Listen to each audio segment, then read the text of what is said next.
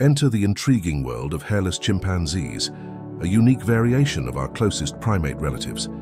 Envision these extraordinary creatures with a distinct lack of fur, revealing their muscular build and intricate skin patterns.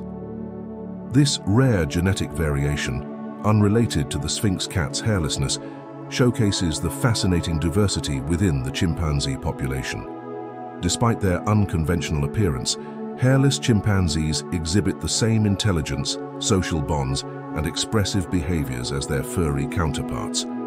The presence of these captivating primates serves as a testament to the wonders of nature's genetic tapestry.